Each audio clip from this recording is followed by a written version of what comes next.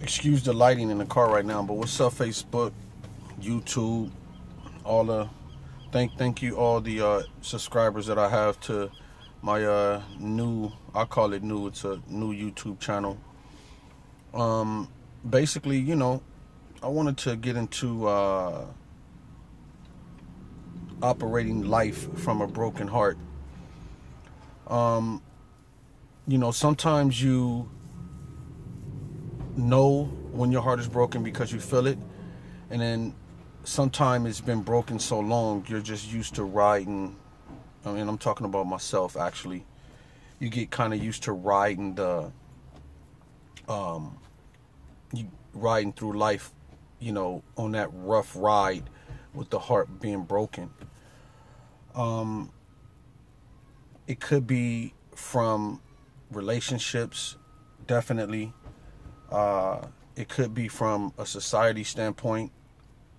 Um, it could, you know, this this broken heart could have could have started years ago, and you know, uh, like I was I was doing a study on on the heart and everything. We're not talking about the the the actual organ or the biological rhythm of the heart you know you can't break that. That's an organ in your body. But what you can do you you can do things to stop it from working. And then you know you know what kind of trouble that is. But we're not talking about that. We're talking about the emotional the broken heart. They call it a broken heart but the it's when the emotions are uh, disturbed due to life circumstances. Uh, we call it we refer to it as pain um, things of that nature. But let's get into it. So operating from a broken heart, man. Man.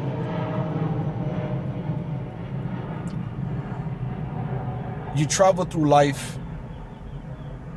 I know I have. I've I've been in situations to where I was able to hide the pain. Um, except for people who had that real high discernment and they can see and know that like dude what's the matter are you okay is everything all right that's very few people though very few people are gonna uh, be close enough to you um, in this lifetime uh, to see your pain.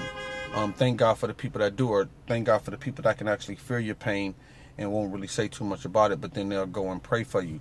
But operating from a broken heart is a very, very um, difficult place to operate from. Um, we'll, we'll talk about solution in just one minute. I'm trying to really get this out the way I want it to come out.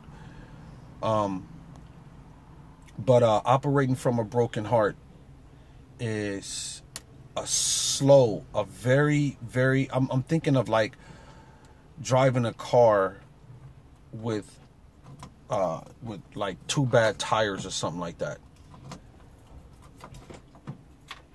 Or driving a car with really, really low tires. Um, you're functioning, you can function, but it's a real, real, it's a real raggedy ride. Um, so solutions what i had to do man i just had to i had I, i've spent a lot of time alone. And it's not that's part of having a broken heart too. You gotta you know sometimes you isolate yourself which is which isolation is good when you're isolating yourself on a spiritual level. You're getting with the creator. You're, you're talking. You're actually speaking out loud. Um, you're talking to god from a godly standpoint. But then sometimes a broken heart can can can cause you to isolate yourself from society. Um, you're in society, but you're not of it. You don't. You barely talk to people. You spend a lot of time alone. You're at home by yourself. Uh, you do a lot of crying, um, and I'm not talking about the tears of joy. Um, operating from a broken heart. Um, you know, it's a very sad way to live, and this is why we do what we do to reach out to other individuals. This is why we do what we do because us as mankind, us as human beings, um, we know that pain doesn't feel good. We know that operating from a broken heart and a broken spirit is, is very hard to recover from. You know, and most people uh, don't, in a sense. I've operated on a broken heart for years, and you know, like somebody driving down the street and they'll tell you like, man, do you know your tires are flat? You you driving like, oh no, I ain't. It's like operating from a broken heart. Somebody walk up to you and say, man, are you okay? and then you you go your, your mind goes directly to what is happening. But I realize that in solution, I, I realize that um, most of the things that I felt like, you know, were broken, I could be the one to fix them. And a way, one of the ways to fix these issues was to just totally let it go.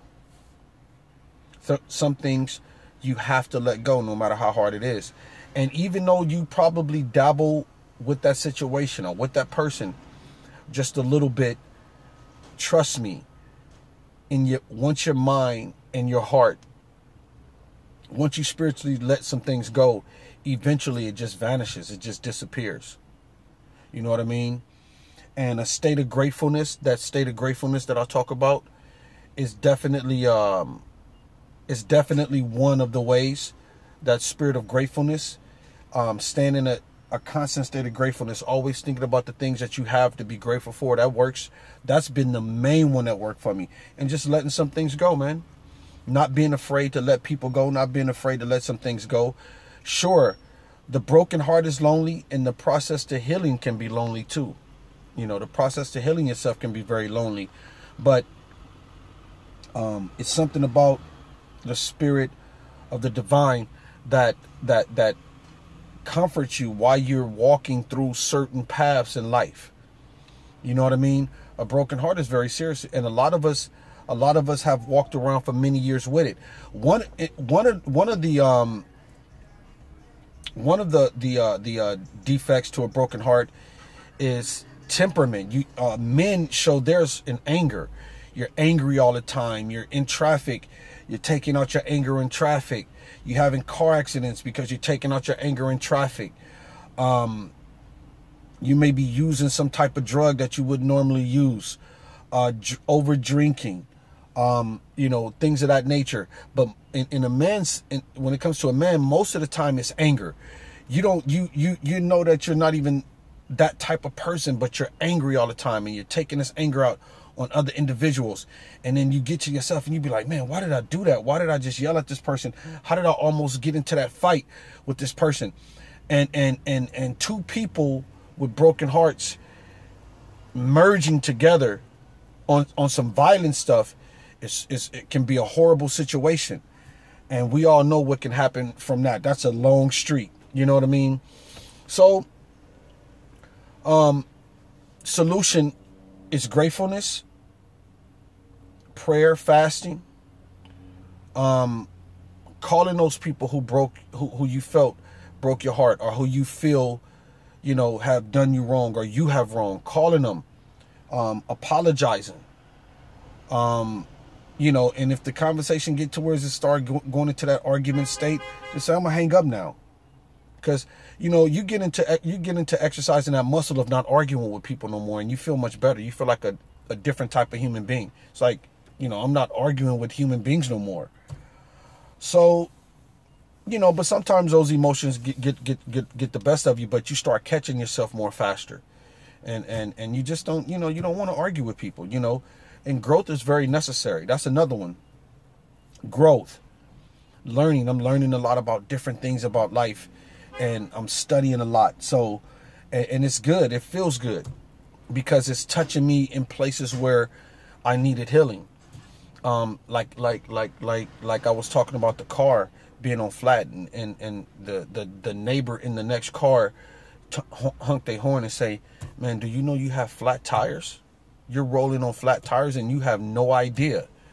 Um, I use that analogy to uh, in, in in reference to our hearts and how we how we operate on a broken heart. And, and we wonder like what is going on? Why am i acting like this? Why why why am i uh you know we've especially for the light workers who've done so much to to to um to make this difference in their life to be you know you becoming a different person which means you don't think the same way you don't do the same things that you used to do so you're becoming this new person and at the same time the sometimes it's the last thing you have to do is check the heart and start releasing things letting people go letting things go uh, using your gifts operating out of your gifts going to the gym exercising, eating right, loving yourself.